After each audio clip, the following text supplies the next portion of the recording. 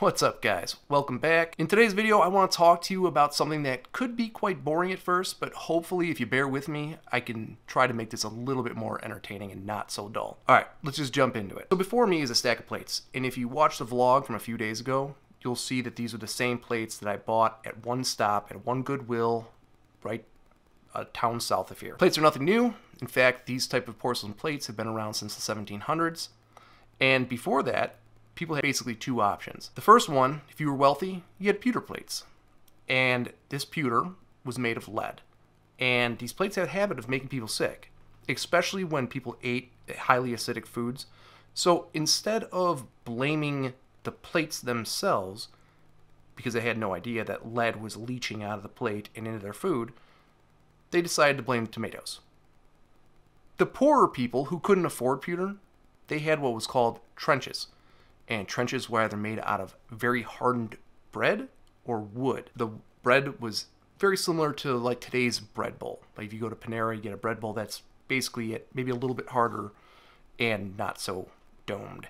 The wood ones, if you were unlucky enough to have a plate made out of wood, the porousness of the wood allowed for rapid growth of bacteria, and this bacteria would lead to mouth sores. And this is actually where we get the term trench mouth. So back to these plates you know, just like I do, you can walk into any Goodwill, Savers, or the like, and you can find hundreds of plates.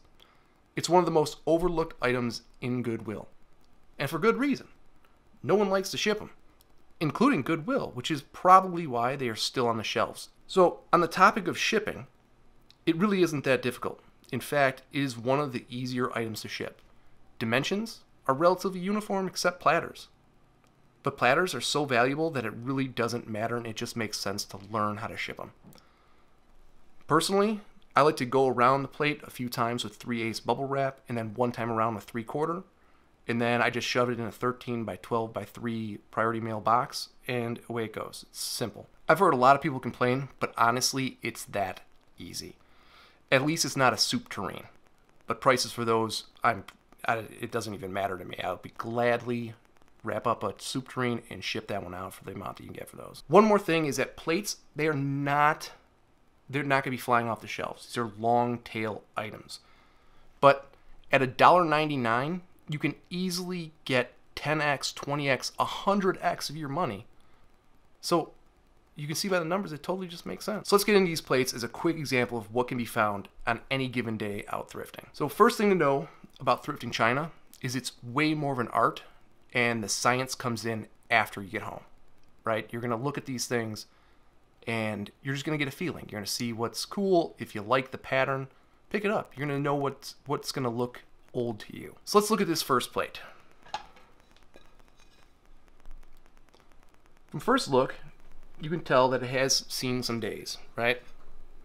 The colors are dull. The white is more of an off-white. Crazing, you know, tiny little cracking you can see. Let's see if I can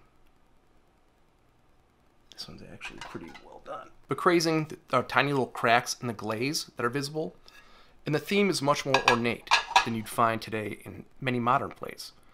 A quick look at the back shows Johnson Bros. So my first step would be to, once I got home, would be to check replacements.com.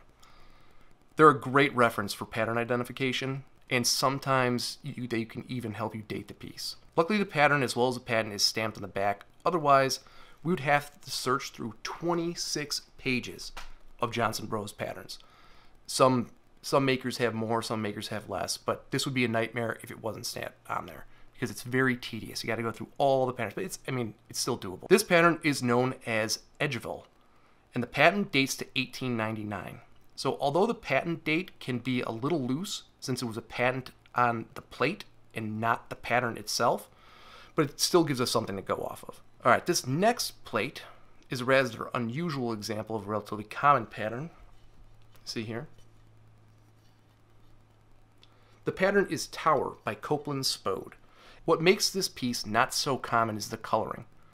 More common examples are maroon, or a solid blue, or even a multicolored that's more brown. A quick look at the back tells us that the plate was made after 1890, and that's when the name Spode was added to the mark.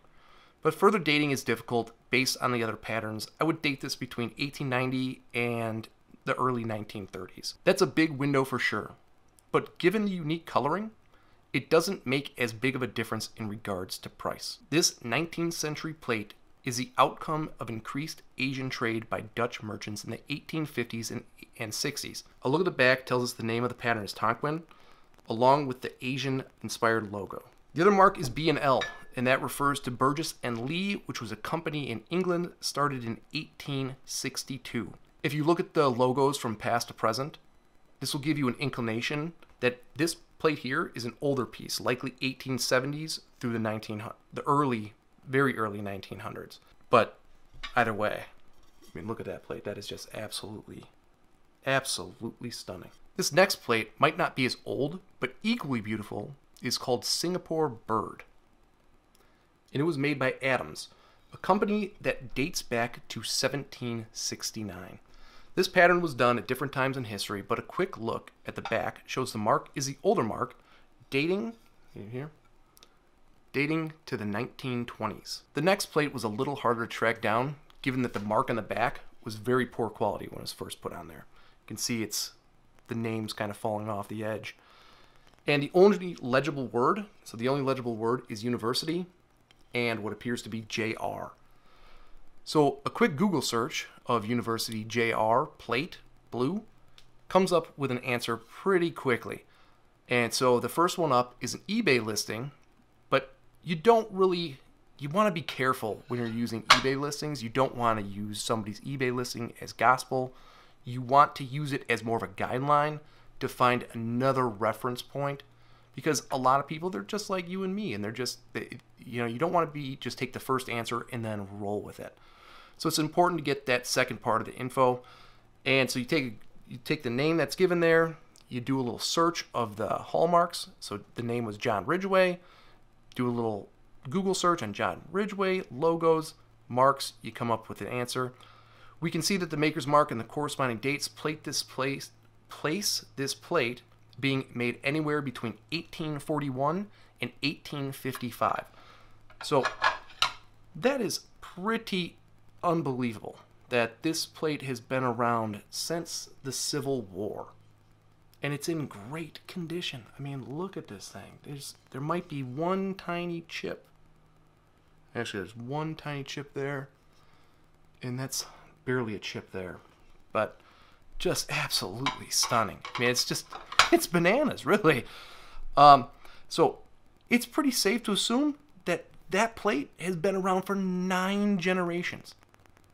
Nine generations have housed that plate until it wound up in my hands. How many dinners did that see? You know? How many awkward moments during family gatherings? I mean, it's anything like my house, quite a few. We can only assume, though. This is one of the reasons why I love finding China. The history there. Few things mean more to people than time with family. And where do we spend most of those times? It's usually sitting at the dinner table just like this. Last but not least is the hardest to figure out. That's this guy. As you can see, there's no maker's mark. The only thing that we can see is the firing marks and the pattern on the front. From the pattern, we can safely assume that it was inspired by Imari style plates.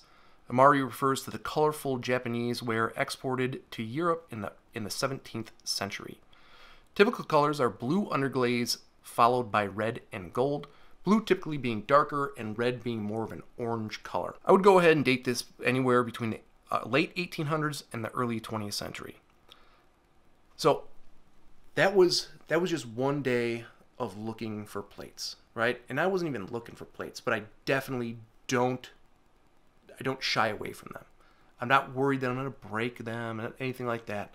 These things are pretty robust. They've lasted for 150, 180 years, this one plate. I mean, that's pretty remarkable.